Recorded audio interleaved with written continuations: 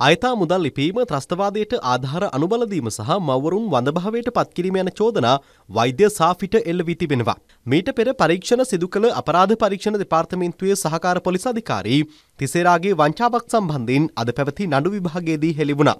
සාෆිගේ නිවසේ සවිකර තිබූ CCTV දර්ශන පොලිසිය බහර ගැනීමෙන් පසු තිසේරා නැමැත්තා ඒවා තනිවම පරීක්ෂා කර යළි සැකකාර වෛද්‍ය සාෆිටම බහර දී තිබෙනවා. අද දිනේ මෙම කරුණු හෙළි වූ අතර ඒ සම්බන්ධයෙන් අපරාධ පරීක්ෂණ දෙපාර්තමේන්තුව අධිකරණයෙන් සමාව ඉල්ලා සිටියා.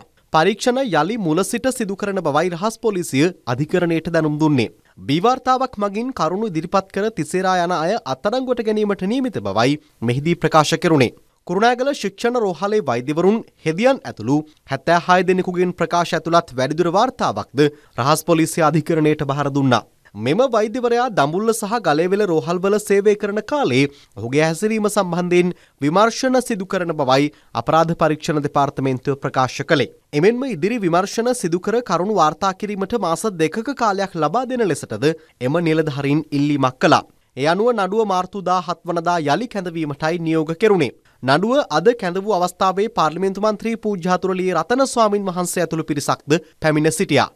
මේ DVR යන්ත්‍රය තුල සම්පූර්ණ මාස් තුනක දත්ත පිටිපසට ගියා නම් සම්පූර්ණ තිබෙනවා මේ නිවසට ආවගේ කවුද? සහරාංගේ කල්ලි සමාජිකයෝ ආවද? අපිට ආරංචියක් තියෙනවා. CID එක පොලිසිය අත්තරන් ගැනීමට පෙර මේ සාපි වෛද්‍යවරයා අත්තරන් ගැනීමක් කර තිබෙනවා. නමුත් වෙන යම් ක්‍රමයකින් යම් කිසි ප්‍රතිපාදන සැලසීමෙන් පසුව මේ සාපි වෛද්‍යවරුන් නිදහස් කිරීමක් කර තිබෙනවා මේ සාපිගේ නිවසේදී. රාජ්‍යදගේ නීතිඥවරයා පෙනී ඉන්නවා. සාපිගේ නඩුවේ නීතිඥවරයා. මං කියන්නේ මේක අහඹුවක් නෙමේ.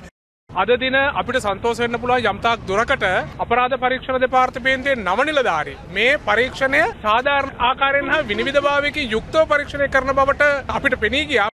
ගරු අධිකරණයම කියනවා පූර්වගාමී කණ්ඩායම අගතිගාමීව ඉතාම සැකසහිත ලෙස මේ පරීක්ෂණය සිදු කරා කියන එක. මේ වෙනකොට ආණ්ඩු වෙනසක් වීමක් වෙලා තිබ්බේ නැත්නම් රෝහල අධ්‍යක්ෂරයා සහ අපේ කණ්ඩායම වෙනකොට ඇත්තටම හිරබාරයටපත් වෙන්න නියමිතව තිබ්බා. සහරාන් බෝම්බේ පිපිරනකොට බෝම්බ සද්දෙට මිනිස්සු තේරුම් ගත්තා ඒකේ බරපතලකම. නමුත් අපේ ජනතාවට මේකේ බරපතලකම තේරුම් ගන්න තව කාලයක් යයි. 635ක් වඳ වෙනවා කියන්නේ පරම්පරා ගානක් මේත් එක්ක වඳ වෙලා තියෙනවා.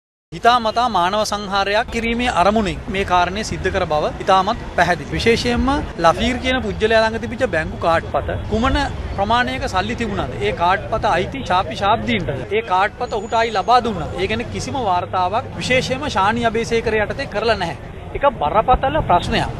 ඉතින් ශානි අබේසේකර ගැන කියන්න අවශ්‍ය නැහැ. ඔහු සම්පූර්ණ හතරමං හන්දියක ඉන්න රස්තියාදුකාරයෙක් විදිහට තමයි පහුගිය කාලේ අධිකරණයට කරුණු වාර්තා කරලා තියෙන්නේ.